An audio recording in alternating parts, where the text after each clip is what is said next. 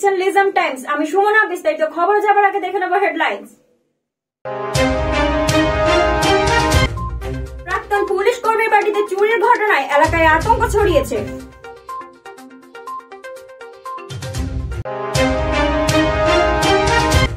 দুর্গাপুরের রাতভর নাকা তল্লাশি আটক বেশ কয়েকজন।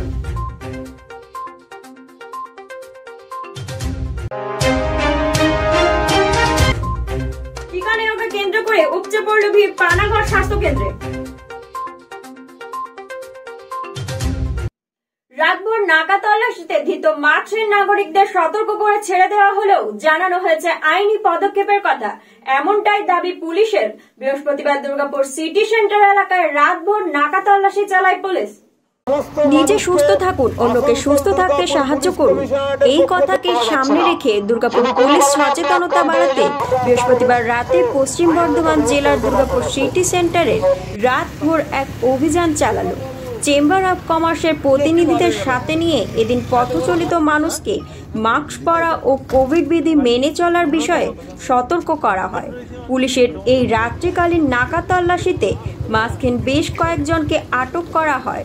এদিন সতর্ক করে ছেড়ে দেওয়া হলেও জানানো হয় আইনি পদক্ষেপের কথা।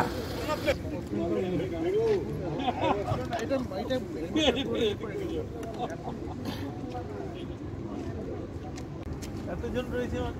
তোমাদের জন্যই তো রয়েছে। হ্যাঁ? তোমরা যাতে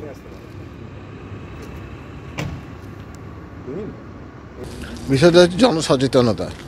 সাধারণ মানুষকে সচেতন করার লক্ষ্যে আমরা এগিয়েছি আসতে।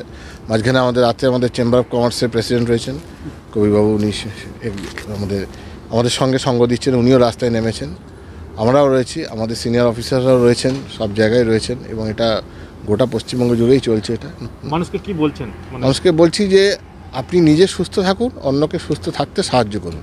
এটাই হচ্ছে সবচেয়ে মূল কথা। আমাদের সরকার যেটা বলছে বারবার করে যাতে প্রত্যেকটা মানুষ যাতে সুস্থ থাকে এবং তার জন্য তার বিশেষ করে প্রশাসনের পক্ষ থেকে যে সমস্ত উদ্যোগ, সেই উদ্যোগগুলো পরপর যাতে নেওয়া হয় এবং করোনা সংক্রমণের বৃদ্ধি পাওয়ায় আতঙ্ক বাড়ছে এলাকায়, আর তারই জেরেই শুক্রবার পানাগড় ব্লক প্রাথমিক স্বাস্থ্য কেন্দ্রে উপচে পড়ল করোনা ভ্যাকসিন নিতে আসা মানুষের ভিড়। এদিন প্রায় এক হাজার বাসিন্দা স্বাস্থ্য কেন্দ্রে ভ্যাকসিন নিতে আসায় ছুটে আসেন বিএমওএইচ বিপ্লব মণ্ডল। রাজ্য জুড়ে করোনা আক্রান্তের সংখ্যা বাড়তে থাকায় আতঙ্কিত এলাকার বাসিন্দারা শুক্রবার টিকার জন্য ভিড় করলেন পানাগড় ব্লক প্রাথমিক স্বাস্থ্য কেন্দ্রে। করোনা ভ্যাকসিন নিতে এদিন প্রায় এক হাজার মানুষ এখানে ভিড় করেন। খবর পেয়ে স্বাস্থ্যকেন্দ্রে ছুটে আসেন বিএমওএইচ বিপ্লব মণ্ডল ও কাঁকসা থানার পুলিশ। দুটি বিভাগে ভাগ করে সবাইকে ভ্যাকসিন দেওয়ার প্রক্রিয়া শুরু হয়। প্রায় এক হাজার মানুষকে ভ্যাকসিন দেওয়ার উদ্যোগ নেওয়া হয়েছে বলে জানান বিএমওএইচ। ঘটনাস্থলে রয়েছে কাঁকসা থানার পুলিশ।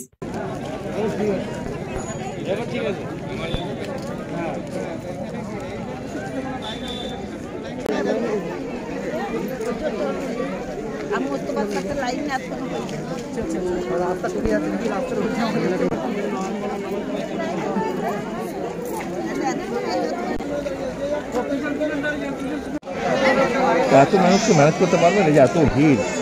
হ্যাঁ আমাদের দুটো টিম আছে। ওদিকে একটা টিম এদিকে একটা টিম আছে। হ্যাঁ, অফিসার এসে গেছে। এটা বিপদ আসন্ন হয়ে যাবে আপনার যা অবস্থা আছে গ্যাদারিংটা আছে। সাহেব এসছেন আমরা লাইনটাকে ক্যাম্পাসের ভিতরের দিকে সরিয়ে দিচ্ছি।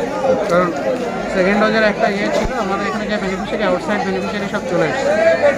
কোভিডের একটা যখন এই সংক্রমণের ইয়ে হচ্ছে বিদ্যালয়ের লকার ভেঙে প্রায় দু লক্ষ টাকা নিয়ে পালালো চোরেরা। লাউদোহা থানার গোগলা পঞ্চায়েতে নতুন ডাঙ্গায় এই ঘটনায় আতঙ্ক ছড়িয়েছে এলাকায়।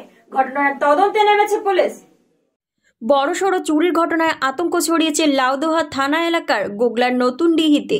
বৃহস্পতিবার লাউদোহার নতুন ডাঙ্গা হাই স্কুলের তালা ও লকার ভেঙে চুরির ঘটনা ঘটে। আজ শুক্রবার সকালে বিদ্যালয়ে এসে চুরির ঘটনা দেখতে পান বিদ্যালয়ের ক্লার্ক নিহার ঘোষ। তিনি বলেন লকারে রাখা প্রায় দু লক্ষ টাকা নিয়ে চম্পট দিয়েছে চোরেরা। ঘটনাটির তদন্তে নেমেছে লাউদোহা থানার পুলিশ।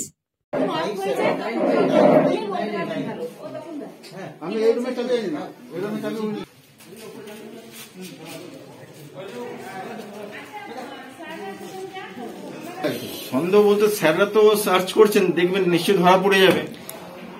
হঠাৎ এই মুহূর্তে চুরির মুহূর্তে সিসিটিভি বন্ধ।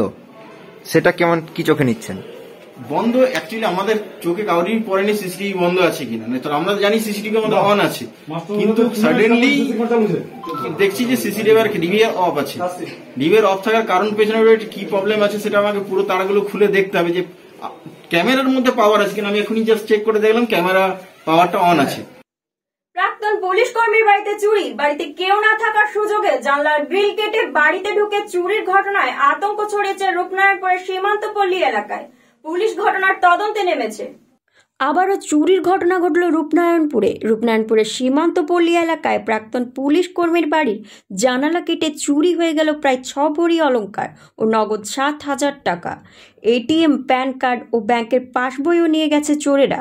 বৃহস্পতিবার সন্ধ্যায় সীমান্তপল্লী এলাকার বাসিন্দা প্রাক্তন পুলিশ কর্মী নারায়ণ তার ফাঁকা বাড়ির পেছনের জানালা কেটে বাড়িতে ঢোকে এই চুরির ঘটনায় আতঙ্ক ছড়িয়েছে এলাকায়।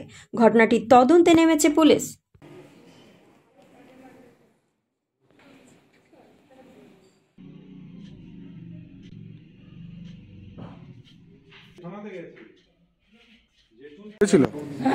ঘটনা বলতে আমি তো ছিলাম না, আমি আসানসোলে থাকি। তো আমাকে খবর দেওয়া হলো ফোনে। তো ফোন করার পর আমি এসে দেখলাম ঘর ভর্তি লোক। তারপরে এসে দেখছি রান্নাঘরে গ্রিল কেটে জানলা ভেঙে ঢোকা হয়েছে। আর একটা ওই কাটার ছিল। কাটারে করে কেটে আর ওই শোকেসের পুরো মানে উনি জানেন আর কি, ওই দরজাটাই ভেঙে মেনলি শোকেসের পুরো পাল্লা খুলে, আলমারি খুলে অর্নামেন্টস ছিল। অর্নামেন্টস বের করেছে, কিছু টাকা ছিল, টাকা। দ্রুত ছড়াচ্ছে করোনা তাই মানুষকে আরও বেশি সচেতন করার লক্ষ্যে বরাকর বাজার এলাকায় মাস্ক অভিযান চালালো পুলিশ। ডিসি ওয়েস্ট অভিজিৎ মোদীর নেতৃত্বে এই অভিযান চালানো হয়। করোনা সংক্রমণ প্রতিরোধে জনসচেতনতা বাড়াতে এবার কুলটি এলাকায় রাস্তায় রাস্তায় নেমে প্রচার চালালো আসানসোল দুর্গাপুর পুলিশ কমিশনারেটের আধিকারিকেরা। আসানসোল দুর্গাপুর পুলিশ কমিশনারেটের ডিসি ওয়েস্ট অভিষেক মোদীর নেতৃত্বে বরাকর বাজার এলাকায় মাস্ক অভিযান চালানো হয়। মাস্ক ছাড়া মানুষের হাতে মাস্ক তুলে দেওয়া হয় পুলিশের পক্ষ থেকে। পাশাপাশি তাদেরকে সতর্ক করে বলা হয়, পরবর্তীকালে মাস্ক না পেলে তাদের বিরুদ্ধে আইনগত ব্যবস্থা নেওয়া হবে। এই অভিযান লাগাতার চালানো হবে বলে জানায় ডিসি ওয়েস্ট।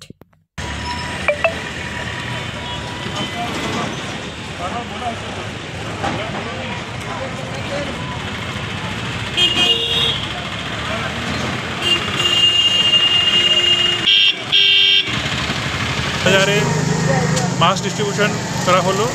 এরকম পুলিশে অভিযান, এটা কেবল ডিস্ট্রিবিউশন বাকি এটা আইন মতন ব্যবস্থা নেওয়া হচ্ছে।